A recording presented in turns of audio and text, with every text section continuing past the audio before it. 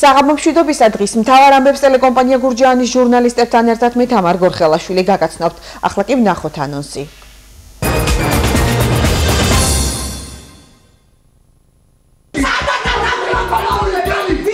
ხმაური სოციალური მომსახურების სააგენტოს ფილიალში რატომ დაუპირისპირდა მცირეწლოვანი ბავშვების ოჯახი სააგენტოს წარმომადგენლებს? აი პატარა ბავშვებს გვართებენ თავის მამას არტოვენ შვილებს. ამ პატარა ბავშვებს იცავს თუ არა თავრობა და კანონი. ძიმე სოციალური ფონი და შიმშილის ღვარზე მყოფი მოსახლეობა როგორც ცხოვრობენ სიღნაღის მუნიციპალიტეტში თვითკვლობამდე ყოფილა მისული რომ აი რანაირად და რა მოიფიქრო და რა გავაკეთო მეთქი? ძალიან გაჭირვება არის. უარესობა მოდის. არის თუ არა საქართველოს დედობისთვის საუკეთესო ქვეყანა კვლევის შედეგები და გურჯაანელი დედების პოზიციები? არაფერი არ მიგწვია რომ შენ ხარ მრავალშვილიანი დედა და აი რამეთი დაგეხმარე. სიღნაღი საკურორტო სეზონისთვის ემზადება. არის თუ არა სიყვარულის ქალაქი ტურისტებისთვის მიმზიდველი? ტურისტების მისაზიდად ნამდვილად არ არის ცუდი ქალაქი. ადროფო კარგი მოგება ხონდა სიღნაღს ვიდრე დღეს როგორ ჩამოდიან მარშრუტები ისო მიდიან. პრინციპული მატჩი რუსთავის საფეხბურთო მოედანზე როგორ დასრულდა გურჯაანის ალაზანისა და რუსთავის მეტალურგის თამაში. ეთერშია ტელეკომპანია გურჯაანის მთავარი საინფორმაციო გამოშვება ხმაური სოციალური მომსახურების სააგენტოს ფილიალში მცირეწლოვანი ბავშვების ოჯახის სააგენტოს წარმომადგენლებს დაუპირისპირდა. როგორც ისინი ამბობენ, მშობლების განქორწინების შემდეგ სასამართლო მშობლების მეურვეობა დედას დააკისრა, თუმცა ბავშვებს მასთან ცხოვრება არ უნდათ. არადა მათი ვეთქმით დღეს სოციალურ სააგენტოში პატარების წინააღმდეგობის მიუხედავად, ბავშვების დედის ოჯახისთვის გადაცემას ძალით ცდილობდნენ. მდგომარეობა იმდენად დაიძაბა, რომ ადგილზე პოლიცია გამოიწახეს. სოციალური მომსახურების სააგენტოში ოჯახის ბრალდებას უარყოფენ და აცხადებენ, რომ მიმდინარე მიმდინარეობდა აღსრულების პროცესი სასამართლოს სააღმსრულებლო ფურცლისა და ფსიქოლოგის დასკვნის საფუძველზე, თუმცა ამ დროს მამამ სააგენტო შვილებთან ერთად თვითნებურად დატოვა. მათივე ინფორმაციით ამ ეტაპზე სააგენტოს მხრიდან კანონით გათვალისწინებული პროცედურების გატარება მიმდინარეობს. აღნიშნული ოჯახის პრობლემა ტელეკომპანია გურჯაანმა ერთი კვირის წინ გააშუქა. მშობლებს შორის უთანხმოების გამო ბავშვები ვერც სკოლაში დადიან. ამის ოჯახი ბავშვთა უფლებების დაცვასა და მათი სურვილის გათვალისწინებას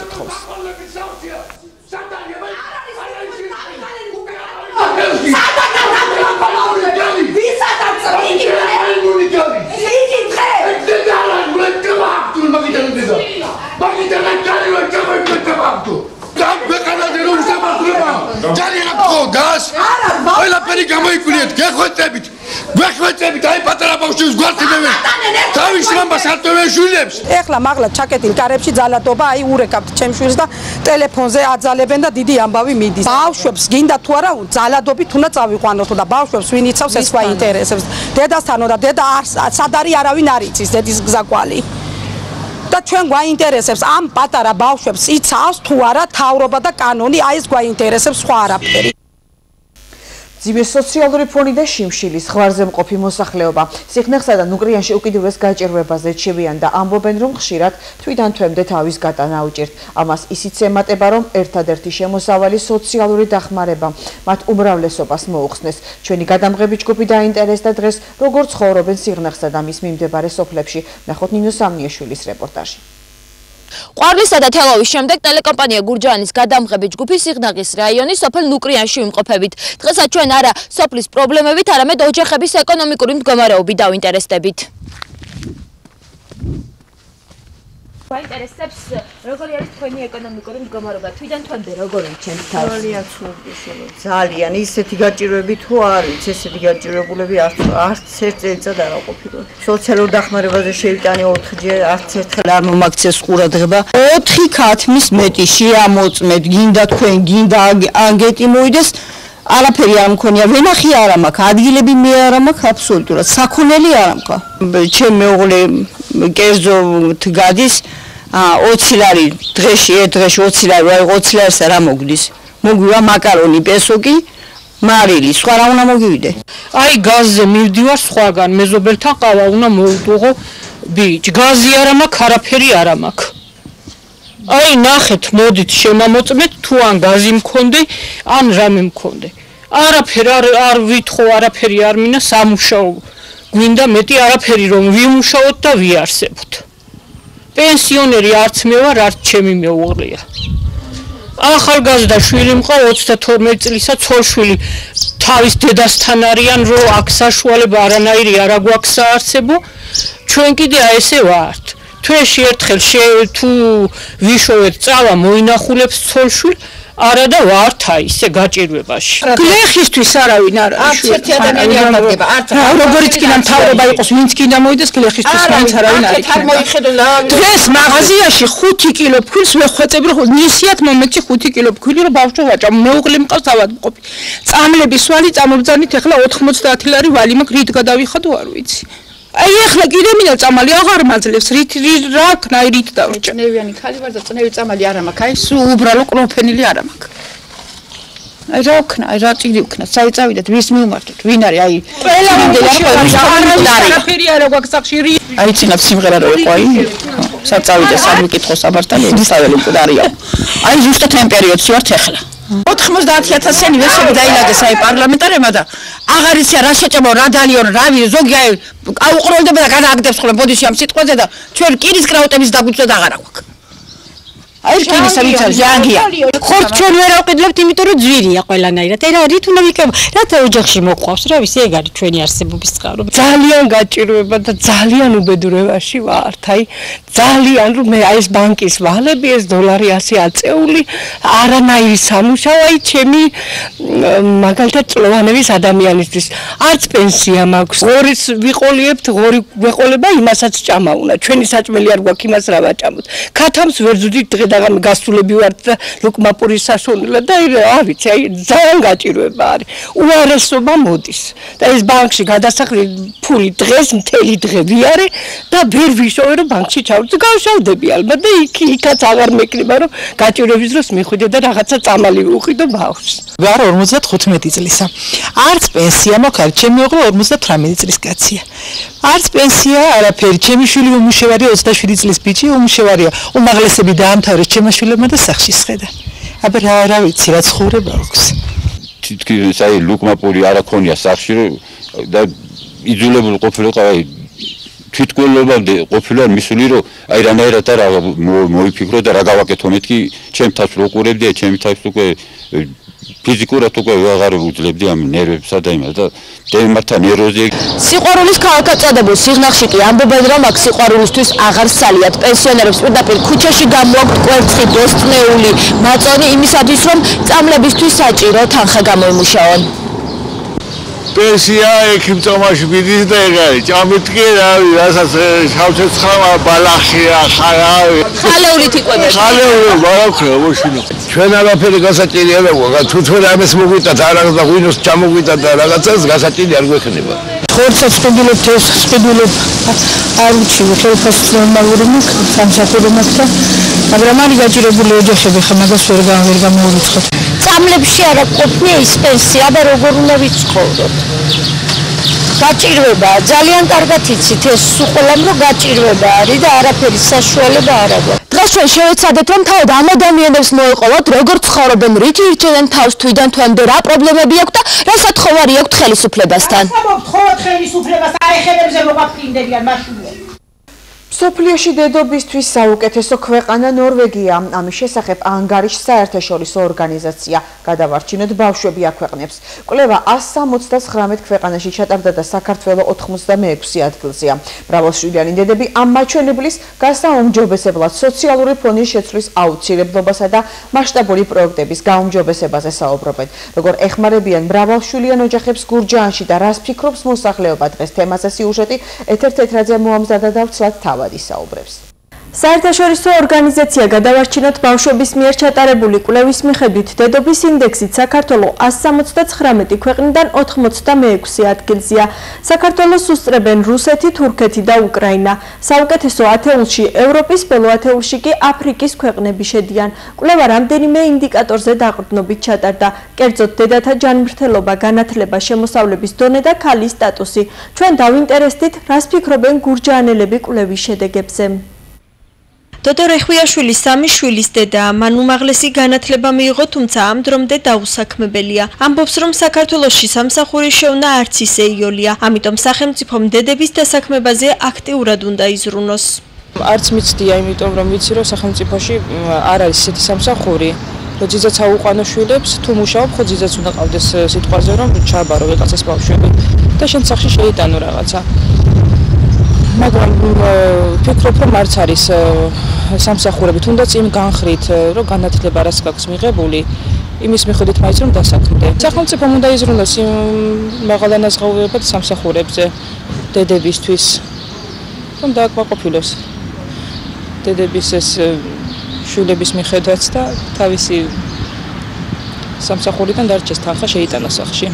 ნათია ბეთანელი პირველი საბავშვო ბაღის მენეჯერია, ისიც სამი შვილის დედა. მუშაობა მხოლოდ მას შემდეგ დაიწყო, რაც ბავშვი ბაღში მიიყვანა. ამბობს, რომ სამსახურისა და ოჯახის შეთავსება უჭირს, თუმცა ფინანსური მდგომარეობის გაუმჯობესებისთვის მაინც მუშაობს. მას კლევის შედეგი არ გაჰკვირვებია მისი შეფასებით შედეგის გაუმჯობესებისთვის საქართველოში სოციალური მდგომარეობა უნდა შეიცვალოს. მე რომ ვარ სამი შვილის დედა, ფაქტიურად მე არ მიგრძნია, არაფერი არ მიგრძნია, რომ შენ ხარ მრავალშვილიანი დედა და აი რამეთი დაგეხმარეთ. არა, ჩემთვის შემოსავალი არის სამსახური და დამატებითი შემოსავალი, თქვათ მეუღლის მხრიდან. სხვა აბსოლუტურად არაფერი რომ ვარ სამი შვილის დედა და რაიმე ამ სტატუსის მიხედვით რაიმე დახმარება მაქვს, არანაირი. სინდექსი რომ გაუნჯობესდეს, აუცილებლად სახელმწიფომ უნდა იზრუნოს. გურჯაანის მუნიციპალიტეტის გამგეობაში აცხადებენ, რომ დედების დახმარებაზე შეძლების დაგვარად ზრუნავენ. ყველა მრავალშვილიანი ოჯახი, ვისაც 4 და მეტი არასრულწლოვანი ბავშვი ყავს, ყოველთვიურ დახმარებას იღებს, ხოლო გამგეობა ყველა ახალშობილს ერთჯერადად 300 ლარით ეხმარება. ყველა ახალშობილი იღებს საჩუქრად, ეს არის 300 ლარიანი ერთჯერადი დახმარება. აბსოლუტურად ყველა რაიონში თუ არის мама რეგისტრირებული, აბსოლუტურად ყველა იღებს 300 ლარიან დახმარებას. ამასთან ერთად ყოველ მეოთხე და მომდევნო არასრულწლოვანზე, ანუ თუ ერთხაშად არის 4 ან მეტი არასრულწლოვანი ოჯახი, იღებენ ყოველ არასრულწლოვანზე 100 ლარს, ანუ თუ 4-ია 100 ლარი, თუ 5-ია 200 და ასე შემდეგ.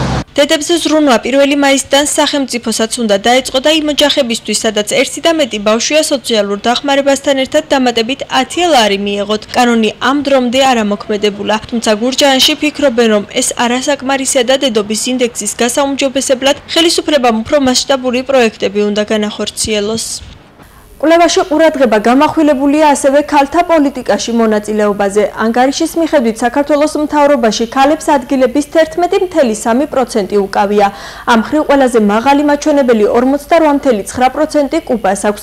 შვედეთი კი 43.6%-ით მეორე ადგილზეა. თელავის მერიისა და საკრებულოს მიერ 12 ვაკანსიაზე გამოცხადებულ კონკურსში განაცხადების წარდგენის ვადა ამოიწურა.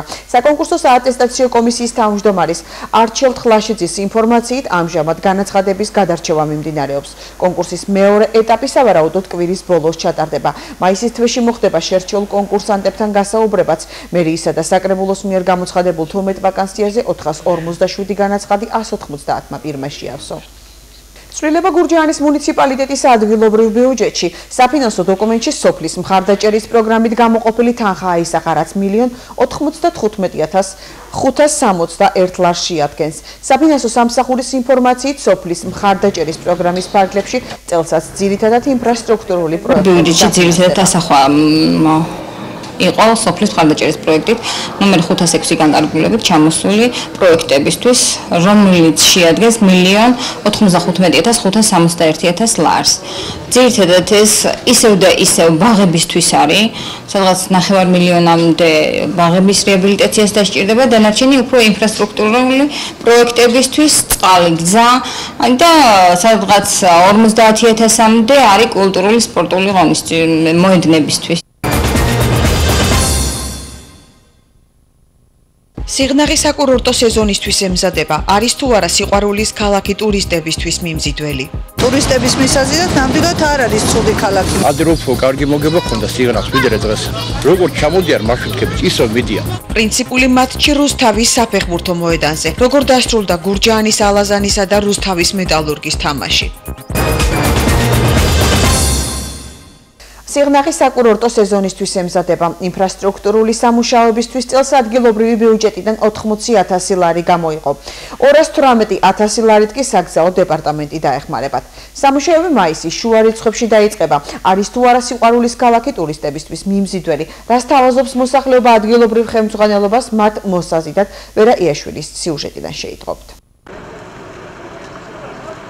სოფელ ანაგაში ახალი სკვერის და სიღნაღის ეთნოგრაფიული მუზეუმის მოწყობა, გარე განათების შეცვლა, ფასადების შეთეთრება, ქვაფენილის სახურავების და ტროტუარების შეკეთება. ასე ემზადება სიღნაღის მუნიციპალიტეტი ზაფხულში ტურისტებთან შესახვედრად. ტურისტული სეზონისთვის ქალაქში მზადება უკვე დაიწყეს, თუმცა ინფრასტრუქტურული სამუშაოები აქტიურად ჯერ არ მიმდინარეობს. ამჟამად მხოლოდ საყრდენი კედლების რეაბილიტაცია ხდება, დასვენების პარკებში კი ყვავილების დასარგავად ადგილებს ამზადებენ. ჩვენ დავინტერესდით თუ რამდენად მიმზიდველია არსებული ინფრასტრუქტურა ტურისტებისთვის და მოსახლეობა შემთხვევითი შერჩევის პრინციპით გამოვკითხეთ. სიგნალების ინფორმაციით უფრო მეტი ტურისტი რომ ჩამოვიდეს, აუცილებელია ბავშვებისთვის და ახალგაზრდებისთვის გასართობი ცენტრების და ატრაქციონების გაკეთება. რომ უნდა გაკეთო რაც მე გასართობი იქნება. კაი მოედნები, კაი რაღაცა. ესე რომ აი ბაღი პარკი აი იგრი იგრი არის, აი იქ რომ იყოს რაღაცა სათამაშოები, საქანდელები, ის ძევით კი არის, მაგრამ ის არა, აი ძალიან კარგი იქნებოდა. ჩვენ შესაძლებელი, ჩვენ მოგობიჭები, ჩვენ შვილი, შვილებიც ესარგენ და შვილთა შვილები. მოსულ ხალხთვისაც კარგია დასანახავად. არა, ყველაფერი რაც კი გაკეთდა ნორმალურად არის ტურისტების მისაზიდად, ნამდვილად არ არის ცუდი ქალაქი, მაგრამ ყველაზე ცუდი რაც თვითონ არც ადგილობრივებს და არც ტურისტებს არ მოგწონს, ეს არის ქვაფენილი. ძირითადად ჭირდება აქტივაციონი, აქტივაციონები და ტურისტებისთვისაც არის სასტუმროები და ყველაფერი არის გაკეთებული, მაგრამ ხალხისთვის ეგ არის საჭირო. ტურისტებს ძირითადად ეს უნება და ხედი იზიდავს და ეს არის საკმარისი და ჩემი აზრით კარგი იქნებოდა თუ გასართობ ცენტრს ან აი მე მსგავს და ამატერნები თუ თანამედროვეს. არ არის მოწყობილი რომ იყოს ხო უფრო მეტი ხალხი? დაპირებები იყო მაგრამ გასართობი არა აი და ვთქვა ქუჩაში დადიან ხო შეიძლება რაღაც ატრაქციონი რაღაც კარუსელი ისეთი რაღაცა ბავშვებს ქონდეს გასართობი აქ ძირითადად არის უფრო სასტუმროები და ჩვენ აქ არც გასართობი არც არაფერი ბუნება გვაქვს მარტო სუფთა ჰაერის ისო ძველი არის ყველაფერი გაკეთებული ტურისტები ადე რო ჩამოდიოდნენ, ადე რო უფრო კარგი მოგება ქონდა სიღნაღს ვიდრე დღეს. როგორ ჩამოდიან მარშრუტკები, ისო მიდიან. აი გააკეთონ აგე პარკი ხო არის. გააკეთონ იქ, პარკი გააკეთონ, გაალამაზონ. ტურისტი ისა უფრო მეტი არ შემოვაკასო. ისა ბასეინები არ აქვს. სიღნაღში ბანაობა რო უნდეს ახალგაზრდას ბასეინი არ აქვს. სიღნაღის მუნიციპალიტეტის გამგეობის ინფორმაციით ინფრასტრუქტურული სამუშაოებისთვის წელს ადგილობრივი ბიუჯეტიდან 80000 ლარი გამოყვეს და 218000 ლარით კი საგზაო დეპარტამენტი დაეხმარებათ. სამუშაოები კი მაისის შუა რიცხვებში დაიწყება. ტურისტების სიმცირეს მოახსენებთ რომ ესე იგი ჩვენ არ უჩივით. სინახში ძალიან ინტენსიური რაოდენობა შემოდის ტურისტების. ჩვენ რაც შევეხება მუნიციპალიტეტს ესე იგი მუშაობთ რომ ესე იგი ქალაქის იერსახე გავალამაზოთ ინფრასტრუქტურა უფრო მოწესრიგებული იყოს. ვაკეთებთ პარკის კეთილმოწყობას, სიგნალის პარკის კეთილმოწყობას, გაზონები იქნება მოწესრიგებული, განათება გაკეთდება, ეხლა დღეს არ არის დღესდღეობით განათება. სიგნალში ტურისტები ახლაც არიან, თუმცა აქ ზაფხულისთვის ემზადებიან. სეზონი მაისის ბოლოდან იწყება და ოქტომბრის ბოლომდე გაგრძელდება. ძველებური ვოდევილები გურჯაანის კულტურის ცენტრის სცენაზე ველისიხის თეატრმა პრემიერის შემდეგ სპექტაკლი ჯერყვარელში შემდეგ კი გურჯაანში გამართა. ვოდევილი რეჟისორმა ვაშა გოგნიაშვილმა ვასილ ნიკოლაძის პიესის მიხედვით მოყარული მსახიობების მონაწილეობით დადგა. კომედიური ჟანრის წარმოდგენაში რეჟისორმა მარშინდელი საზოგადოების მიშჩანური ნაწილის ცხოვრება გადმოსცა. მე ვარ 2-0 გურჯაანის ალაზანის სასარგებლოდ საფეხბურთო გუნდმა კიდევ ერთი გამარჯვება რუსთავის მეტალურგთან შეხვედრაზე მოიპოვა. მეორე ლიგის კალენდარული მატჩი რუსთავში გაიმართა თამაშს. გურჯაანელი გულშემატკივრებიც ესწრებოდნენ. მათი უფასო ტრანსპორტირება კლუბმა თავად უზრუნველყო. როგორც საფეხბურთო გუნდ ალაზანში ამბობენ, დღევანდელ გამარჯვებას სატურნირო თვალსაზრისით პრინციპული მნიშვნელობა აქვს. ჩვენ ვართ ახლა მეორე პოზიციაზე ამ თამაშის მერე ერთი კულით ვასწრებთ რუსთავის მეტალურგს და ცხინვალთან გვაქვს ჩვენ ეხლა ერთკულიანი ჩამორჩენა, ოღონდ თამაშით აქვს ნაკლები ცხინვალს და 18 მაისს ჩამოდის ცხინვალი ჩვენთან. და თუ ცხინვალმა იმ გადადებულ თამაში ეხლა თამაშობს კვირის ბოლოს დაკარგა კულები ჩვენთან 18-ში არის და მოვიგეთ. ანუ გადავდივართ პირველ ადგილზე და გვიჩნდება ძალიან სერიოზული შანსი ორი ტურით ადრე რომ გადავიდეთ პირველ ლიგაში გამოშვებას რეგიონს გარეთ განვითარებული მოვლენებით განვაგრძობთ, რომელსაც თამარ ჭანყოშვილი გაგვაცნობს. გახდა თუ არა საგარეო ორიენტაცია მინდია ჯანელიძის შეცვლის მიზეზი. მინდია ჯანელიძე არსად არ წასულა, რაც ადასტურებს იმას, რომ არავითარი მსგავსი კითხვები არ არსებობს. თამაშების ჩაწყობის ბრალდები ჩინაგან საქმეთა სამინისტრომ 8 პირი დააკავა.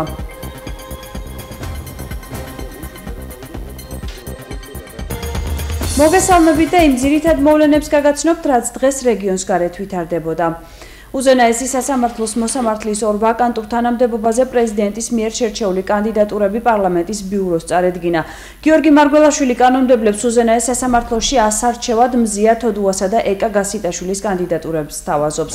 უზენაესი სასამართლოს მოსამართლეს ისევე როგორც უზენაესი სასამართლოს თავმჯდომარეს პარლამენტი პრეზიდენტის წარდგენით 10 წლის ვადით აირჩევს. ქართული პოლიტიკური სპექტრის ყურადღების ცენტრში თავდაცვის უწყებაში განხორციელებული ცვლილებებია. გახდა თუ არა საგარეო ორიენტაცია მინდია ჯანელიძის შეცვლის მიზეზი და რამდენად გააძლიერებს თინა ხიდაშელი თავდაცვის სამინისტროს პროდასავლურ კურს მოსაზრებები ნახეთ ჩვენს სიუჟეტში. პოლიტიკური სპექტრი ახლა თავდაცვის უწყებაში საკადრო ცვლილების მიზეზზე მსჯელობს. მათ ნაწილს ეჭვი მინდია ჯენელიძის პროდასალურ ორიენტაციაში შეაქვს. მათ შორისაა საპარლამენტო უმრავლესობის ლიდერიც დავით საგანელიძის თქმით, თავდაცვის უწყების საგარეო მიმართულების შესახებ კითხვები ხშირად ისმოდა. თინახიდაშელის დანიშნულ კი ამოჭრს პასუხი გასცა. ნება მომენტს არ დავითახნო, იმიტომ რომ ყველა ის აუცილებელი, ასე ვთქვათ, აქტივობა, რაც საერთაშორისო აქტივობა, განსაკუთრებით რა თქმა უნდა ჩვენი საერთაშორისო აქტივობის 90%-ის დასავლური აქტივობაა, მიმდინარეობდა მაღალ დონეზე, მიმდინარეობდა აქტიურად საცხოვრებელი ბინის გამქირავებელი ფიზიკური წინამორბედის პროდასალურ კურსში თინახიდაშელს ეჭვიარეპარება. თავდაცვის მინისტრობის კანდიდატი ამბობს, რომ სგავ შემთხვევაში ჯანელიძეს კრიზისების მართვის საბჭოში არ დააბრუნებდნენ. მინდა ჯანელიძე არსად არ წასულა, რაც ადასტურებს იმას, რომ არავითარი მსგავსი კითხვები არ არსებობს. ის დაბრუნდა ძალიან მნიშვნელოვან სამსახურში, უსაფრთხოების და კრიზისების საბჭოში ხელმძღვანელად, რაც იმას ნიშნავს, რომ ჩვენ ყოველდღიურ რეჟიმში უნდა ვიმუშაოთ და როგორ წარმოგიდგენიათ ახლა, რა მეეჭვები არსებობდეს ამ თვალსაზრისით, მაშინ ეს ურთიერთობა როგორ უნდა განვითარდეს. დაამთავრეს მათ. საპარლამენტო უმრავლესობაში ჯანელიძის პროდასალური ორიენტაცია არ აეჭვებთ, თუმცა ამბობენ, რომ თინახიდაშელის სწორედ თავდაცვის სამინისტროს ევროპული და ევროატლანტიკური მიმართულების გაძლიერების მიზნით შეირჩა. საერთოდ ერთი კითხვა არ დასმო.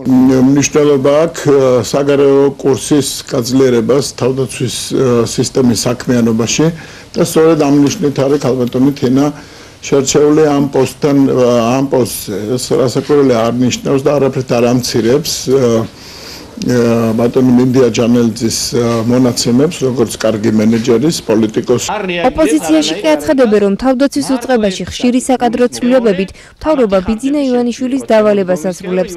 ის ასრულებს რუსი ოლიგარქის დავალებას და ეს დავალება არის უკვე სამხედრო მიმართულებითაც რომ იყოს ხშირი ცვლა არ იყოს სტაბილური მდგომარეობა და ამ თვალსაზრისით კონდეს უარყოფითი რეპორტები უკვე როგორც სამხედრო თვალსაზრისით მიმართულებით, ასევე შიგნით ქვეყნის მიმართულებით. ამას მოყვება ის, რომ რიგაში ვერ მივიღებთ იმას, რასაც ამდენი ხანია აანონსებდა ეს ხელისუფლება. ხათუნა ლაგაზიძე ამბობს, რომ თავდაცვის უწყებაში ხშირი საკადრო ცვლილება გაუმართლებელია, თუმცა ხიდაშოვილის დანიშნას მიესალმება. ექსპერტი ამბობს, რომ ახალი თავდაცვის მინისტრი დასალურ კურსს გააძლიერებს. თავისთავად, რა თქმა უნდა, თავდაცვის სამინისტრო არ არის ის სტრუქტურა, რომელიც ექსპერიმენტების ობიექტად უნდა აქციო.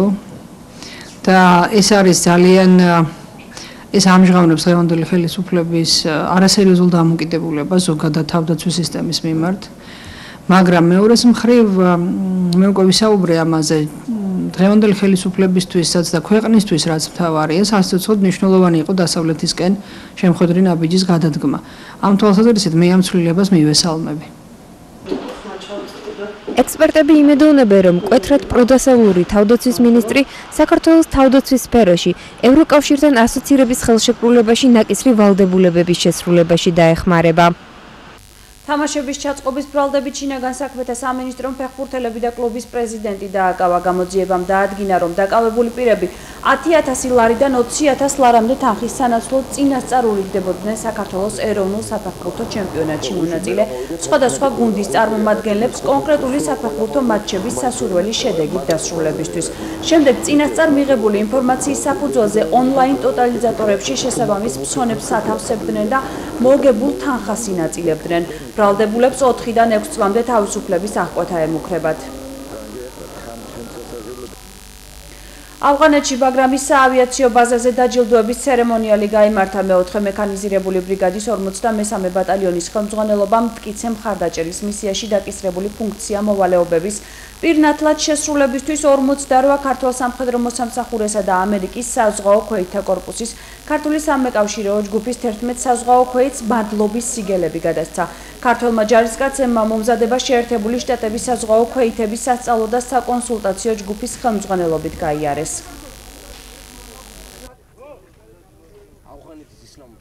ომში 53 მექანიზებული ბატალიონის სამხედრო მოსამსახურეებს გადაეცათ მადლობის სიგელები, რაზეც უხდით მადლობას, უსურვებთ წინსვლას და მომავალ ბრძოლებში გამარჯვებას. დღეს 53 ბატალიონის პირად შემადგენლობას გადაეცა მადლობის სიგელები მეთაურობისგან. მსგავსი ქმედებები, მსგავსი ყურადღება არის мотиваცია ჩვენთვის ჯარისკაცებისთვის. ასეთი იყო დღეს რეგიონს გარეთ განვითარებული მოვლენები მეგემშვიდობებით ნახვამდის. სამგანზომილებიანი ფოტოების სასწაულებრივი ეფექტი. უნიკალური კადრები ელვის პრესლის ცხოვრებიდან. ამუშობას უცხოეთის ამბებით განვაგრძობთ. დალაში წინასწარ მეტყველ მუჰამედის კარიკატურების თემაზე გამართული კონფერენციის მსვლელობისას განხორციელებულ თავდასხმაზე პასუხისმგებლობა ისლამური სახელმწიფოს მებრძოლებმა აიღეს. ამის შესახებ ინფორმაცია თავად ისლამისტებმა საკუთარი რადიოსადგურის საშუალებით გაავრცელეს. ამასთან ჯიჰადისტები ამერიკის შეერთებულ შტატებს მორიგი თავდასხმები დაემუქრნენ.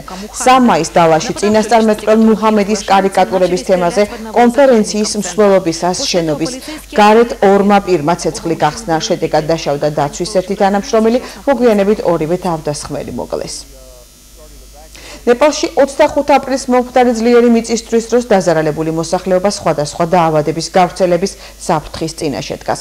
ამის შესახებ BBC-ს ცნობით ჰუმანიტარული ორგანიზაციები აცხადებენ თავშესაფრის ნაკლებობის, დაბინძურებული წყლისა და მძიმე სანიტარული პირობების გამო შესაძლოა ქვეყანაში ქოლერა, დიზინტერია და სხვა მსგავსი დაავადებები გავრცელდეს. როგორც ბრიტანეთის კატასტროფებისა და საგანგებო სიტუაციების კომიტეტის წარმომადგენლები აცხადებენ, აღნიშნული საფრთხის აღმოსაფრო პირველად საჭიროა დაბინძურებული ტერიტორიების დასუფთავება და სასწრაფო პრევენციული ზომების მიღება. Надо успеть до периода муссонов. ისრაელის პარტიის ისრაელი ჩვენი სახლია ლიდერმა ავიგდორ ლიბერმანმა რომელიც ისრაელის საგარეო საქმეთა მინისტრია თანამდებობიდან გადადგომის შესახებ განაცხადა ლიბერმანმა პარტიის სპეციალურ სხდომაზე უარი განაცხადა პრემიერ ბენიამინ ნეთანიუს მომავალ მთავრობაში ყოფნაზე მისი თქმით ამჟამინდელი მთავრობის წევრები არიან ოპორტუნისტები და არა ეროვნული ხელმძღვანელობა ახლა კი საინტერესო ამბები რომელიც პალიტრატივიმ გაავრცელა სამგანზომილებიანი იმიჯების სასწაულებრივი ეფექტის მეშვეობით ესპანელმა ფოტოგრაფმა და პიანისტმა ვიქტორ ერნიხმა გერმანიაში მიუნხენში მდგარი სასტუმრო საოცარი ქორეოგრაფიით ააცევკა და ფორმები შეუცალა. იშვიათი კადრები ელვის პრესლის საოჯახო არქივიდან. ელვის პრესლი მსოფლიოს ერთ-ერთ ყველაზე სასურველ საქმრო დითვლებოდა. მის გამოჩენაზე ქალები ტიროდნენ და ყვიროდნენ. ბევრი ფიქრობდა, რომ ელვისი არასდროს დაქორწინდებოდა, მაგრამ როდესაც მისი არჩევანი პრისცილა ემბოლეზე შეჩერდა, უმალვე გასაგები გახდა, რომ როკენროლის მეფემ საკუთარი დედოფალი იპოვა. 1966 წელს ელვისმა პრისცილას ხელი სთხოვა. მათი ქორწილი 1967 წლის 1 მაისს გამართა. ისინი ლას-ვეგასში სასტუმრო ალადინში დაქორწინდნენ. მოდი სამყაროში ერთ-ერთი ყველაზე გამორჩეული ღონისძიება და ვარსკვლავური კაბები გამოშვებაში ასევე ნახავთ. რატომ მიიღო ლეგენდარულმა ბრაზილიელმა ფეხბურთელმა რონალდინიუმ ყვითელი ბარათი? ახლა კი დღის სხვა ამბები. მოდი სამყაროში ერთ-ერთი ყველაზე გამორჩეული ღონისძიება met gala 2015 გამართა. ღონისძიების ორგანიზატორებმა ორიგინალური თემატიკა აირჩიეს. ჩინეთის ჩურჩული აღმოსავლური ზღაპრები ხელოვნებაში, კინოსა და მოდაში. წითელ ხალიჩაზე შოუ ბიზნესის წარმომადგენლება ამჯერადაც ულამაზესი კაბები მოირგეს. მაგრამ ბიონსეს გამოჩენამ ფურორი მოახდინა. ასევე განსაკუთრებული ყურადღების ცენტრში მოექცნენ კიმ კარდაშიანი და ჯენიფერ ლოპესიც. ლუკას სულიჩი და შტეფან ჰაუსი ჩელოზე მაიკლ ჯექსონის ცნობილ ჰიტს ასრულებენ. ვიდეო რომელიც 28 აპრილს გავრცელდა, უკვე მილიონამდე ინტერნეტ მომხმარებელმა ნახა. ლეგენდარულმა ბრაზილიელმა ფეხბურთელმა რონალდინიომ, რომელიც ამჟამად მექსიკურ კერეტაროში თამაშობს, მონარკასთან მატჩში სიმულაციის გამო ყვითელი ბარათი მიიღო. აქვე გეტყვით, რომ მან გოლის გატანა შეძლო პენალტის ნიშნულიდან. მექსიკის ჩემპიონატის 10 მატჩში რონალდინიომ 3 გოლი გაიტანა.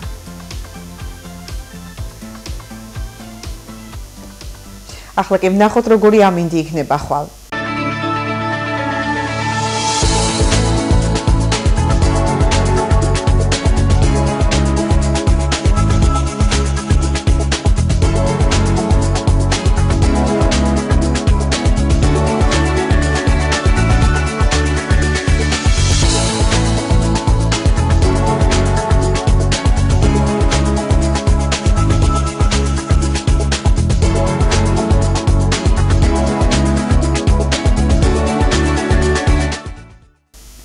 ამით დღევანდელი გამოშვება დასრულდა ნახვამდის